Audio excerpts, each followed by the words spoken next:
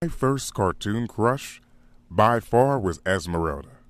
Yes, oh my god, the Godiva chocolate skinned goddess who spends recreational time scamming people out of copper dollars and friend zoning hunchback French people. Just, bro, she was perfection, bro. Like she was so freaking fine. I don't know why people don't count her as one of the Disney princesses. Yes, she comes from very humble beginnings, but many of my people do. Like, bro, she is just so freaking bad.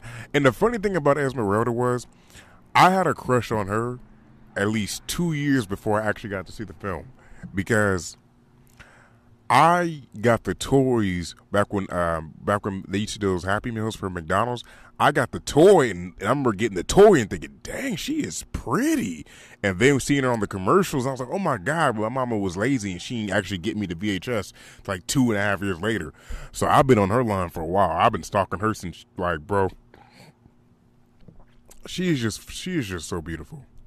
And then of course there are a few honorable mentions outside of her. You know, um, what's that girl's name from the Goofy movie? Al- Mac- Alex, Alex, I think her name was Alex. Um, Lola from Space Jam, Penelope Pitstop, um, Daphne from Scooby Doo. Um, it's a few, a few honorable mentions, a few honorable mentions out there.